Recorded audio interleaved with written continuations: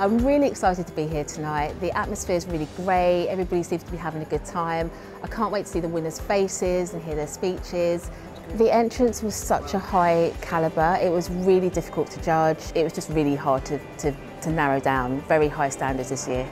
It's so important to have initiatives like the UK Content Awards. It's really encouraging to celebrate all of our winners, our categories and the great work that they do.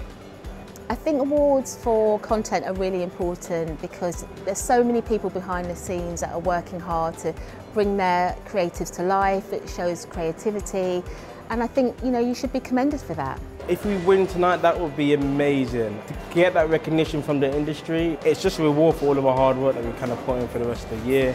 I'd say it would all be about sort of reward and recognition for the work that we've done in, over the past year. I've had some tequila rosé, yes. So yeah, that's been a plus as well. Yeah. The photo was amazing. The first awards, first 360 photo booth, perfect. Can't get any better. No.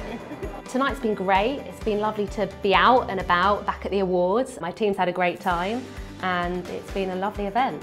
We entered two categories for our 30 second risk checker and we won both. Woohoo! We entered Media Content Campaign of the Year and we won! Success isn't just winning awards, that's just a bonus on top of what we do day to day.